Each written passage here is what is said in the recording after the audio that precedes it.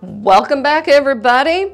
We're going to show you different ways to dip bisque into your glaze tank. We do want a quick in and out. I grew up using dipping tongs. This is my jam. Now I know a lot of people don't like them or they're not comfortable with them, but I had all of my staff trained and this is how we did it. For a couple reasons. When I'm dipping this mug, I don't want to handle it any more than I have to. If I did your traditional, just kind of dipped it in and this handle wasn't done, you're either going to have to come back and dip the handle or you're going to need a soft fan brush to fan it out. So if you use a dipping tong, you're going to basically get a little death grip. I try to put these sharp little pieces where it's not as obvious, okay? So it's gonna be closer to the handle or underneath the handle, not here where all your design work is. With all of the glazes, you want a quick dipping in and out. So I kind of went in and back out. If you have a good grip on here, and it does build your muscle up a little bit, you're gonna try to shake off any excess. Notice I kept the inside of the mug down so that it ran back out. If you came up and left it like this, you could potentially have the glaze go down to the bottom of the bisque and it'd be too, um, too thick, and that's where you get some crawling, okay? To fix that, what you would do is just touch up the bare spot with the clear glaze and refire it. Pretty easy fix, but you don't want to have to spend more time touching this stuff, right? Now I do have a little drip here where the glaze was on the tong. You can either just use your finger or have a soft fan brush that has been dipped in the clear glaze and touch it up. And then what you're going to do you just set it down, release the tong, and pull it out. Now here's where you can make a mistake. If you don't open the tong and you pull it up, you can rake and scrape off some of the glaze. I always keep a towel or a sponge nearby and wipe these tips off because I've got the glaze from here and then the next one I could transfer little dots. But look how this is done, okay? Beautiful. You set it on your drying racks this is nice because if you're just going to do a couple of pieces, it's handy. What I would have are shelves back here with some paper and then my drying racks on top of them. That way, weekly, monthly, or whatever, you can take the paper, throw it away, and keep your um, dip shells nice and clean, okay? And then repaper it. Okay, I have a little spot right here where I would touch up with my soft fan brush. All right, so that's using a tong. I'm gonna show you what we call a half dip. I don't, it's not my favorite because again, you're touching this piece more and more. You can use gloves, which I highly recommend having gloves so that you're not constantly sticking your hand in the glaze. But you can take your piece, you go in halfway. Uh, this turned out to be a little bit more of three quarters. Gonna shake off your excess glaze. This glaze is really nice because it's staying open just enough that I could correct some dips or drips with my soft fan brush, but it's not staying open so long that it's gonna take forever to dry. Because at this point, I can touch this right here. I could come back. And whenever you do a half or a three quarter dip, you're gonna want to dip it back in where it just kisses and touches against that and not overlap because then you've got two layers of glaze and that's where you're gonna get your hazy line.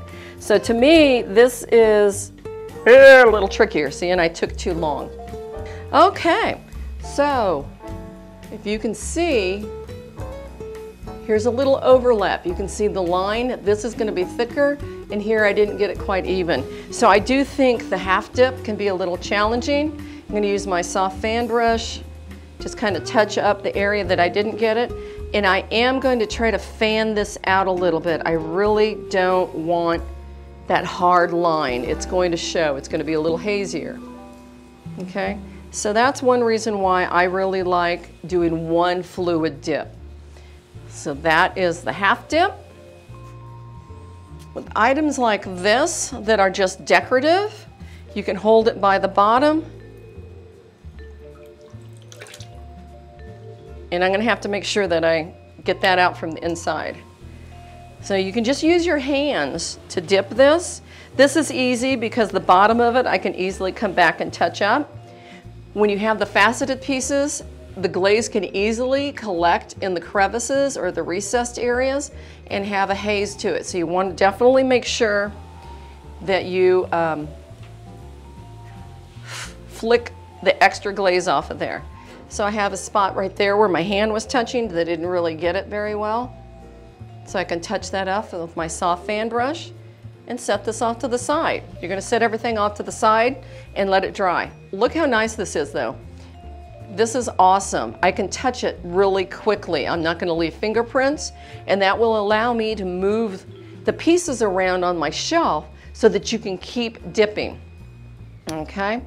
When you have a vase, vases can be tricky because you're in and out, right? You want to do it very quickly. A couple of things that I recommend. If you take foundation glaze and thin it down, three parts glaze, one part water, and I would do white because your bisque is white, pour it in, roll it around, completely coat the inside of this, and then dump it into a pot and only mix up what you need at the time. I would do this in my studio and pre-glaze the inside of all the bases prior to the customer coming in. So that way, when I went to have, I needed to dip it, instead of trying to get in there, scoop it in, fill my vase, get it back out, get everything out in a very quick fluid moment, all I have to do is, bada bing, my vase is now dipped. Inside is already glazed. And if the customer wanted to create some color inside of it, the neck of it, not a problem. That's what I highly suggest. All right, look at that. How nice is that? Oh, I'm loving this stuff. So as you can see, you can use your fingers and I'm gonna show you the complete dip with this piece. So I'm gonna hold it again where it's gonna be probably the least noticeable trying to have as minimal amount of touching with my skin or my hands. I'm gonna go in, my hand is submerged. I'm Gonna shake this. You can also do the rock and roll or kind of driving my car. Shake that excess off. And then when I set it down, I've got some drips here and you can see right there let me bring that under. So you can see right there, that's where my finger was. I'm gonna come back with my soft fan, fan brush, touch that up. I'm probably gonna try to smooth out those drips a little bit also. Love it.